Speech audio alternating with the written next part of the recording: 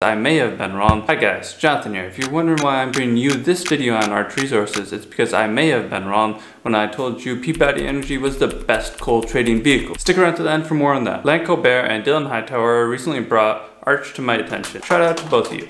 Let's take a look at how Arch compares to Peabody Energy. As we all know, the price of energy has been soaring. Electricity prices, natural gas prices, coal prices, they've all been skyrocketing. Coal prices have been exploding, US coal producers have been going along for the ride. Coal will someday be dead, as evidenced by the success of bankruptcy lawyers in the company's office. But today it is alive and well. These companies, which were abandoned by investors during the second half of the 2010s, are now enjoying a resurgence. If you're familiar with my channel, you will know that I have covered Peabody Energy quite a few few times over the summer and into the fall. However, you might also notice that I've not talked about Arch resources yet. Today I want to compare the two and see if Arch deserves more attention than I have been giving it. Earnings are up first because earnings are vital to investors and the long-term profitability and viability of any company. Coal companies have had a bad run of it over the past half decade. During the previous earnings release, Arch announced a profit, while Peabody announced a loss. Let's dig into the details. Arch Resources reported a profit and beat consensus estimates. Say that three times fast.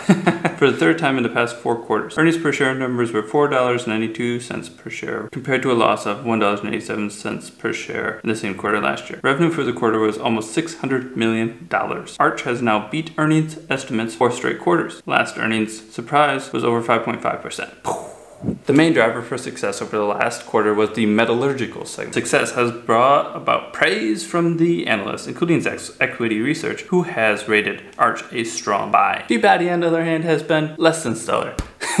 BTU has only recently moved into profitability and has not delivered consistently, having disappointed during two of the last four earnings periods. Analysts don't like this. BTU reported a 60 cent per share loss versus the expected 47 cent per share loss in October. This represents an almost 30% earnings disappointment. On the positive side, Peabody did have larger than expected revenue. If we were to call this a competition, Arch has almost certainly been the dominant force in this rivalry. Arch had a consistent history of dividends from 2017 up until the early part of 2020 when they temporarily halted their dividend in order to maintain financial flexibility. Now that the situation is improving again, Arch has chosen to begin paying a quarterly dividend. The next ex-dividend date for Arch will be November 29th when the 25 cent per share dividend will be effective. BTU also had a history of paying a dividend before the beginning of 2020 but has not yet restarted the dividend. Peabody paid a quarterly dividend during the years of 2018 and 2019, but as stated, has not been paying since 2020. We all know what happened then. As we look at shortly, Peabody has been more interested in giving cash to their debt holders than to their shareholders. The next reason Arch Resources has been more successful in winning its competition is because Arch Resources never forgets to hit the like button. I'll let that one sink in. As both companies have relatively recently left bankruptcy protection, Arch in October 2016 and BTU in April 2017,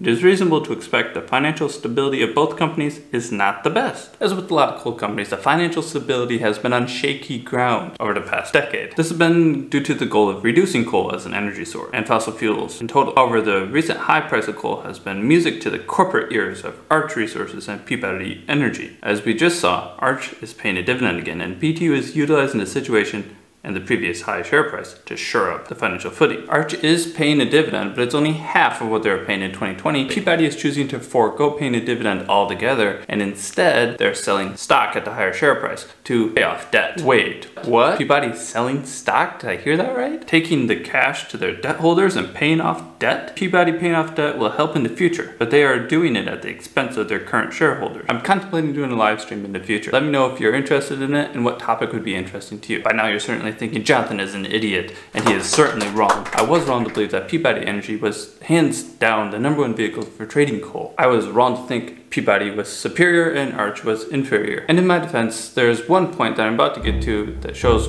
why I believe this. The final difference between Peabody and Arch for today is the market cap. Peabody is larger than Arch Resources, but no longer twice as large. When I started focusing on BTU, Peabody was twice as large as Arch Resources. Because of this increased market cap, they were definitely the best choice for a trading vehicle for coal. The choice was clear because BTU had the higher trading volume, larger market cap means they had the better liquidity. Now it seems that Arch is hot on the heel of its rivals Peabody Energy, and with a seemingly better financial positioning, may be ready to surpass and overtake their rivals. If you like this video, you'll probably enjoy this video on screen now. It's about BTU, before they dove headfirst into selling stock to pay off debt. Jonathan out.